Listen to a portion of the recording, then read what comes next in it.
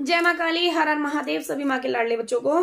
कैसे हो सभी? उम्मीद है सभी अच्छे होंगे और माँ का आशीर्वाद सभी पर बना हुआ है। तो आज मैं आपको बताती हूँ कि माँ से अरदास कैसे लगाते हैं। माँ को अपनी अर्जी कैसे बना, देते हैं, माँ को कैसे अर्जी स्वीकार करने के लिए बोलते हैं, क्या प्रोसीजर है, उसी के बारे में बताऊँगे।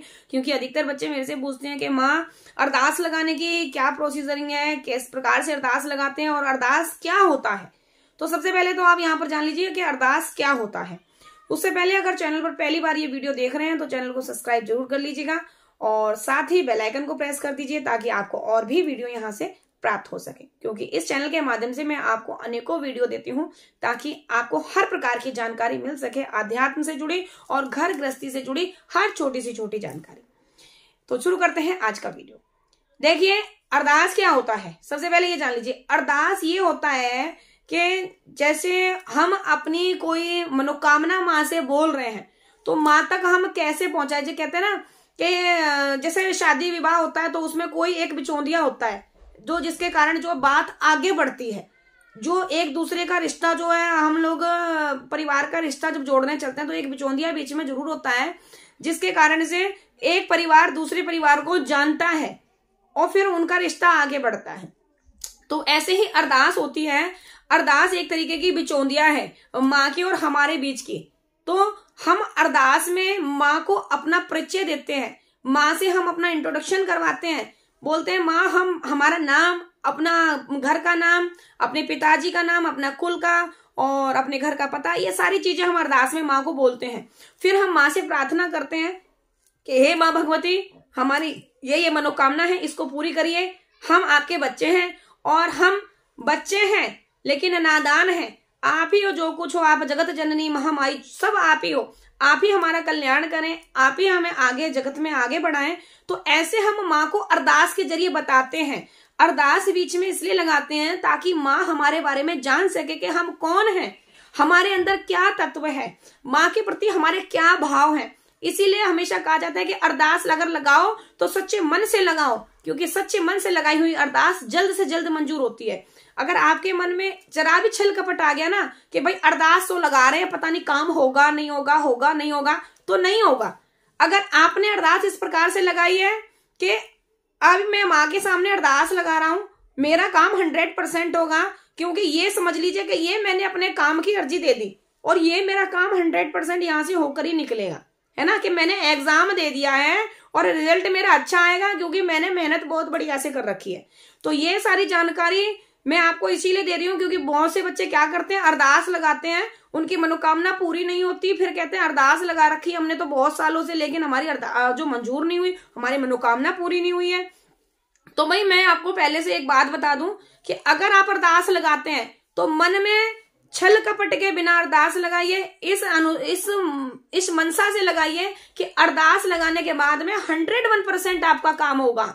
कोई दुनिया की ताकत रोकने वाली नहीं, अब आपका काम होगा ही होगा। जिसके मन में ऐसे विचारों से अरदास लगाइए ना कि इस भगवती के चरणों में हमने अरदास लगा लिया है, अब ये हमारा कल्याण करेगी, यही हमें आगे बढ़ाएगी। तो मैं गारंटी देती हूँ, हंड्रेड परसेंट आपकी जो है मनोकामना पूरी होगी। अभी मनोकामना किन की पूरी होती है? भाई, दिल से जो दुखी है, परेशान है, सचमुच माँ की शरण में आए हैं, लेकिन जो परीक्षार्थ माँ की अरदास लगा रहे हैं, भाई, उनकी तो नहीं होगी पूरी। परीक्षार्थ माँ भगवती कोई काम नहीं करती, उल्टा परीक्षा लेने और लगती है। तुम पहले परीक्षा दो, तुम पास हो जाओ अपनी परीक्षा में, तब मैं है ना, अपनी ही परीक्षा दूँगी आगे। तो भाई, सच्चे मन से अरदास लगाने वालों की हमेशा माँ भगवती ने अरदास सुनी है और तीन महीने से छह महीने लास्ट समय होता है, अरदास हर हाल में मंजूर हो जाती है बच्चों की। इससे आगे समय हो जाता है तो सोच लो अभी नहीं तुम्हारी अरदास मंजूर होनी है। ठीक है? अगली चीज़, अरदास लगाते कैसे हैं? भाई, तुम अपने हाथ में ग्यारह रुपए ले लो। माँ का, कोई भी माँ का सिद्धपीठ मंदिर या कोई भी चौकी, दरबार, जो भी आपके ध्यान में हो, वो पैसे हाथ में लेकर वहाँ के मंदिर को सोचो और आँखें बंद कर लो और माँ को, माँ का ध्यान करो। माँ के ध्यान में ज़रूरी नहीं है जिस सिद्धपीठ मंदिर के बारे में आपने ध्यान लगाया, वही चौकी आए आपके सामने। कोई भी चौकी आ जाए, लेकिन आपकी आँखों के आगे माँ भगवती घूमने लगे। ऐसा ध्यान लगाओ, वो होती है कि सच्ची आत्मा से हम अरदास लगा रहे हैं।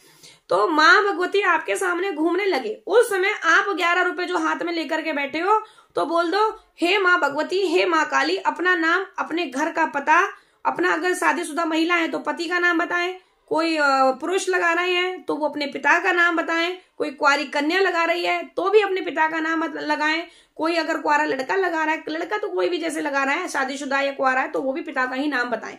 और अपने गोत्र, कुल कुल देवी सबका नाम बताइए वहाँ पर। पूरी तरीके से जैसे विवाह शादी में हम इंट्रोडक्शन देते हैं, इसी प्रकार से माँ को हम अपना इंट्रोडक्शन देना है, पूरी जानकारी देनी है। और फिर हमको बोलना है, हे माँ भगवती, हमारा ये काम है इस काम से हम बड़े परेशान हैं। हर जगह से हारे हुए तुम्हारी शरण में आए हैं और आज ये अरदास लगा रहे हैं। हे भगवती जगत जननी, हमारी ये अरदास मंजूर करके हमारे ऊपर कृपा करिए और हमारा ये काम हमें बनाकर दे दिए।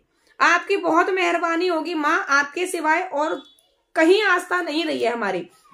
ऐसी मंशा रख करके आप अरदास लगाइए, गांठ मारकर अरदास अपने घर के पास घर में रख लीजिए मंदिर में। और सुबह शाम डेली वहाँ पर सरसों के तेल का दीपक जलाइए, माँ भगवती से डेली अरदास के सामने हाथ जोड़ करके निवेदन करिए, हे माँ भगवती, मेरा काम पूरा कर दीजिए, बड़ा परेशान हूँ, मेरा काम हो जाए। जगत जननी, में तुम्हारे चरणों में नकमस्तक हूँ।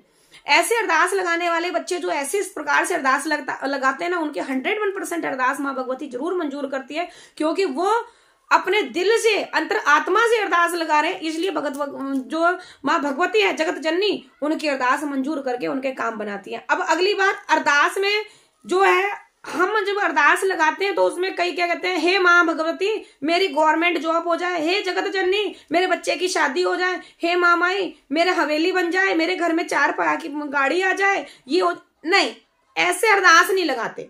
अरदास अपने बहुत ही ज़रूरी काम के लिए लगाते हैं। जब हर तरफ़ से हारे हुए हैं, चाहे कोई कोर्ट केस चल रहा है, कोई घर है, किसी का घर बर्बाद हो रहा है, किसी का कोई जान पर बनी है तो उसके लिए हम अरदास लगाते हैं, लेकिन अरदास में सिर्फ़ हम एक ही मनोकामना रखते हैं माँ भगवती के सामने। अभी आप एक साथ अपना परिवार, रिश्तेदार, खानदान, सभी की अरदास एक में लगाना चाहेंगे तो भाई पूरी नहीं होगी। माँ भी कंफ्यूज हो जाएगी, किसका करूँ, इसका करूँ, उसका करूँ।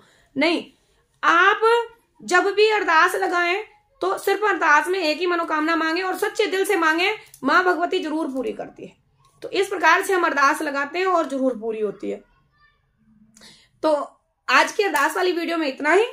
अगर आपको मेरी इस वीडियो से कोई सीख मिली है तो उसके लिए वीडियो को लाइक कर दीजिए, साथ ही चैनल को पहली बार देख रहे हैं तो चैनल को सब्सक्राइब करके बेल आइकन को प्रेस कर दीजिए, क्योंकि इसी चैनल के माध्यम से मैं आपको छोटी छोटी घर गृहस्थी और आपके जीवन से जुड़ी हर प्रकार की समस्याएँ और आध्यात्म से जुड़ी जानकारी के बारे में वीडियो देती हूँ। साथ ही मेरा सेकंड चैनल है, काली माँ की बेटी, रेणु यादव टू ज़ीरो वो मेरा पर्सनली चैनल है, उस पर आपको मेरी पर्सनल वीडियो और मेरे दरबार से रिलेटेड वीडियो मिलेगी। तो दोनों ही चैनल को सब्सक्राइब करके मुझे सपोर्ट कीजिए। मिलते हैं आपसे नेक्स्ट वीडियो में और अधिक जानकारी के साथ। तब तक के लिए सभी को जय माँ काली, हर हर महादेव।